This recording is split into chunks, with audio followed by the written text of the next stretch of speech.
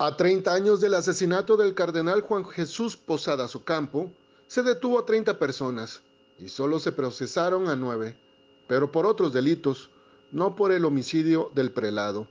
Y de esos 9, que se encuentran en diversas cárceles del país, hay cuatro hombres que esperan sentencia en el complejo penitenciario de Puente Grande.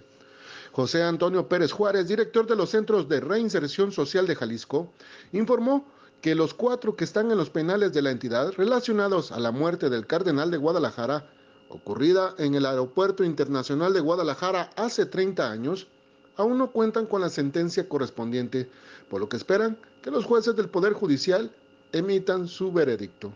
Por ese evento del Aeropuerto del Cardenal tenemos cuatro personas, pero dos de ellas, aunque fueron partícipes en el evento, no participaron en forma directa del homicidio del cardenal Posadas Ocampo. Entonces ellos están por el delito de tentativa de homicidio y otros que les resultaron, inclusive uno de ellos, Gastón Ayala, está por intento de homicidio en contra del Chapo, de Joaquín Guzmán Loera. Pero por el caso Posadas, ahorita solo tenemos a Manuel Alberto Rodríguez Rivera, que fueron sentenciados Isaías Marc Hernández. El funcionario estatal mencionó que actualmente están en el reclusorio preventivo dos relacionados a este crimen y en el penal de sentenciados se encuentran otros dos que han sido condenados a 40 años de cárcel, pero no por el asesinato del líder religioso, sino por tentativa del homicidio de Joaquín El Chapo Guzmán, cuando presuntamente, según las autoridades federales que llevaron la investigación, los detenidos que pertenecían al cártel de Tijuana pretendían asesinar a Joaquín Guzmán Loera, el Chapo Guzmán,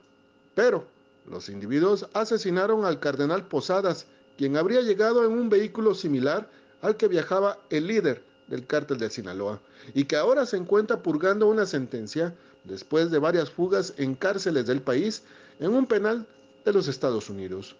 Fue un 24 de mayo de 1993,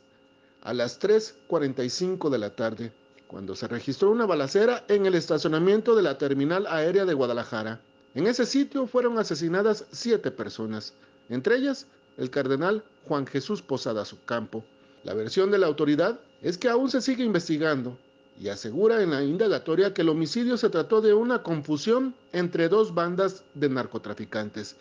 en la que pretendían asesinar al líder del cártel de Sinaloa, Joaquín El Chapo Guzmán por orden de los hermanos Arellano Félix.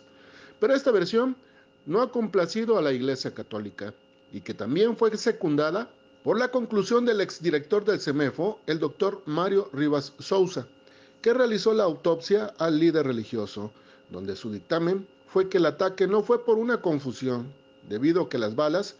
fueron directísimas sobre el cuerpo del cardenal. Para UDG TV Canal 44, Henry Saldaña.